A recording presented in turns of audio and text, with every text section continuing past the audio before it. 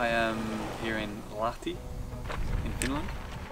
I am riding the Cannondale Super 6 Evo SE. This bike is the CX colorway and it's been specifically specced out with the team edition equipment.